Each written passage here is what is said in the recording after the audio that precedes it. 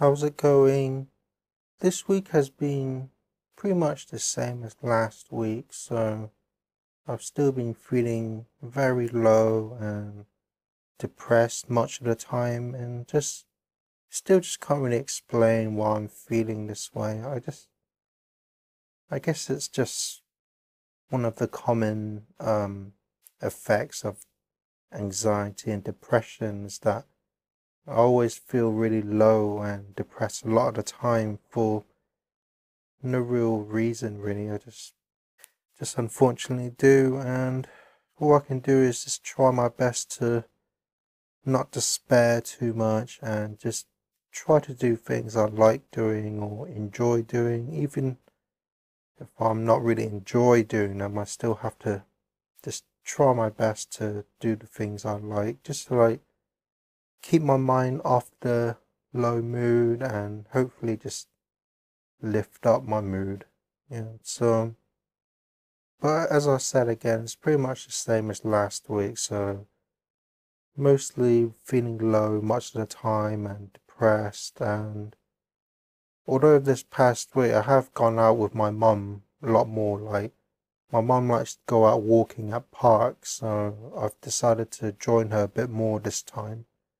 So we went for like walks around the park and I guess it does kind of lift my mood a little bit, even though it's very exhausting for me, but well, I guess it's still nice to like get out and about every now and then. But um but yeah, that's that's pretty much it for how I've been feeling. As of other things I've been doing, I've still been doing my room eight book and I think that overall is still going slowly but smoothly. So, so I first drew out the final parts of drawings.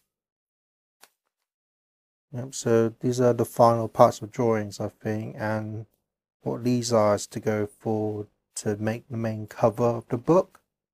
And I think I've got the final concept and design of the book cover done like, um, I'm, I'm not really sure if I'm going to make any more covers. So I think for now, this might be the final cover. So yeah, that's done. And then after doing the final bits of drawing, I continued rereading the chapters. So this past week, I've done up to chapters one all the way to chapter seven and just reread rereading it, checking like spelling and errors and stuff, and adding or taking away parts, just like finalize it really. Um, yep. So that's that's what's been going on with my book so far. I think overall I'm almost there, so hopefully I can finish that sometime soon, maybe.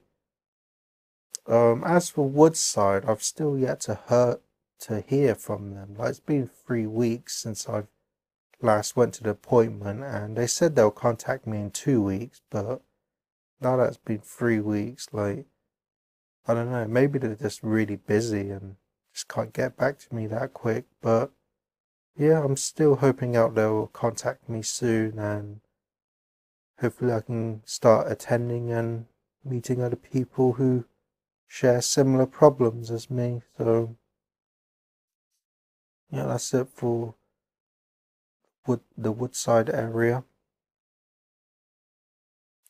I think overall that's about it for this week. Like, just mainly still the same as last week. Just still feeling really low and stuff. Uh, continuing my book, going slowly but smoothly. Um, yeah, just been trying to go out a bit more, get some fresh air and stuff, and yeah, I think that's it about this week. Um, I guess I could say like I'm I'm still kind of comfort eating a lot though, so late at night or just random times during the day, I just I don't know, I just feel the need to just eat something, even though I'm not hungry. I just just like eat to satisfy like an urge or something, like to feel better, but but after eating I feel worse inside. So Yeah, it's just the effect of my depression, really. Just comfort eating, and I know I need to like not eat because it's not really healthy like that. But I just there are just a lot of times where I just can't help it. Like when I'm feeling really low, I just I don't know. I just end up eating sometimes, and yeah. So I'm still trying to rectify that and not eat so much and not like break out of that habit, but still struggling and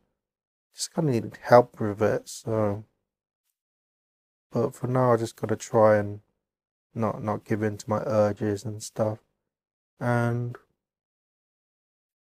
I've still I've still got the headaches and dizziness for like because these are the first symptoms I had way back when I was 11 no when I was 8 and I started getting headaches and dizziness. That's when my mental health started and they've still just been really apparent and just makes me lose my sense of balance a lot of the time when I'm sitting or standing and I just kind of feel lightheaded and losing touch with myself really and I've still got the really intrusive voices in my head still telling me like negative things to like harm myself or harm others or become someone else. Just various negative things, really. So uh, I'm still taking my medication for it, but there are times when it just kind of gets overwhelming, really, and it makes me exhausted a lot of time. And sometimes I just end up sleeping a lot of times to like